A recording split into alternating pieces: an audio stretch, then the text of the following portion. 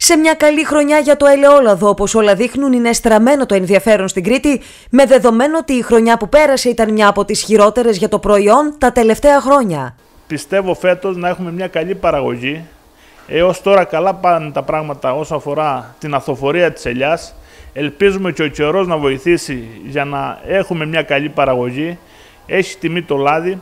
Οπότε για τους παραγωγούς μας θα είναι πάρα πολύ σημαντικό. Με επίκεντρο την προστασία του προϊόντος, η Περιφέρεια Κρήτης ήδη τρέχει διαγωνισμό για τα συμπληρωματικά φάρμακα της δακοκτονίας, στη βάση του ότι φέτος η έναρξη μπορεί να γίνει με αμεσότερες κινήσεις, αφού ήδη από πέρυσι έχουν υπογραφεί τριετής συμβάσεις με εργολάβους και παγιδοθέτες, άρα η δακοκτονία θα μπορεί να τρέξει από τη στιγμή που κρυθεί με βάση τους ελέγχους που γίνονται στα στάδια σχηματισμού του καρπού, αλλά και για τους πληθυσμούς του δάκου και πάντα στο χρόνο που αυτό κριθεί απαραίτητο με δεδομένες και τις περιβαλλοντικές συνθήκες. Θα κάνουμε οτιδήποτε μπορούμε για να μπορέσουμε ε, να γίνει σωστά η δακοκτονία γιατί ξέρουμε όλοι μας ότι η φετινή χρονιά είναι πάρα πολύ κρίσιμη και για την παραγωγή και για τους παραγωγούς μας. Προσδοκώντας σε μια καλή χρονιά πάντως, αυτό που φαίνεται ότι πλέον σταθμίζεται ως σημαντική παράμετρος είναι εκτός από την ποσότητα η ποιότητα του κριτικού ελαιολάδου.